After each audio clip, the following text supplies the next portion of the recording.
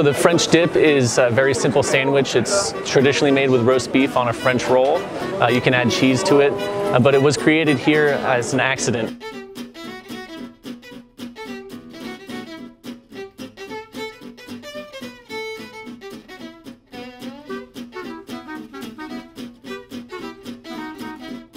Ugh. We're here at Philippe's The Original here in downtown Los Angeles. This is the original spot where the French dip sandwich was invented.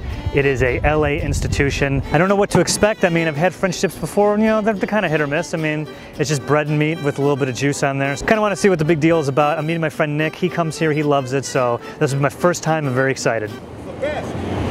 That's right, buddy. We opened in 1908 here in Los Angeles, and we're the longest continually operating restaurant here. So Philippe, 1918, he accidentally dropped a roll in the pan drippings of the beef he was cooking, and the customer was in a hurry, took the sandwich as it was, and came back the next day requesting it be dipped. So that was really the birth of the French dip, a happy accident.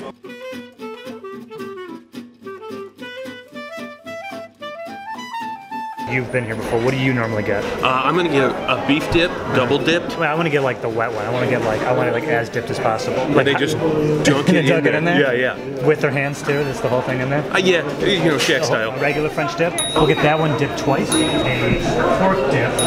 And can you make that one wet? Well, however long it would take to ruin the sandwich, take it on two seconds early. Double dip lamb with blue cheese, please. Uh, two pickled eggs, potato salad. I think we got enough. Yeah, no, I don't think so. Anything else? Do you get room for pie? I could try a piece of pie. So the beef is prepared the same way as all the other meats. They're, they're cooked, seasoned, and throughout the day we add liquid to the roasting pans, and so that's really where we get the flavor for the au jus. So the next day we use those drippings with the stock we make, and that's what we dip your sandwich in. I take Nick out to lunch. He doesn't help me carry the food. Unbelievable.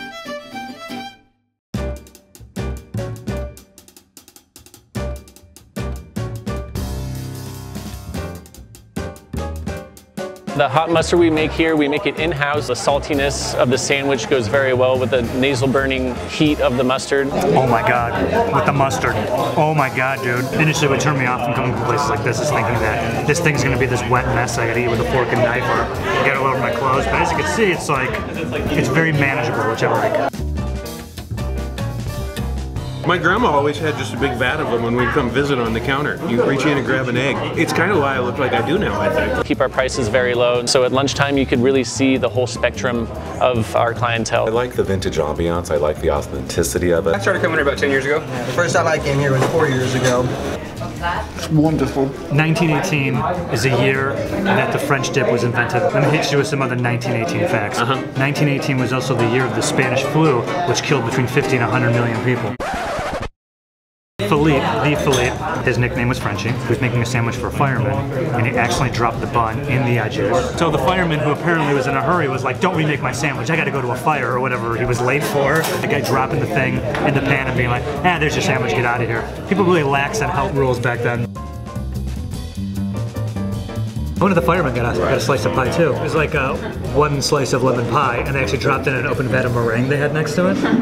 And he was like, "Yeah, just, just give me the pie too." I'm in a hurry. And that guy was like, "I'm not. telling- This is my invention. I'll distract him with the sandwich." I got Mr. Meringue. Yeah.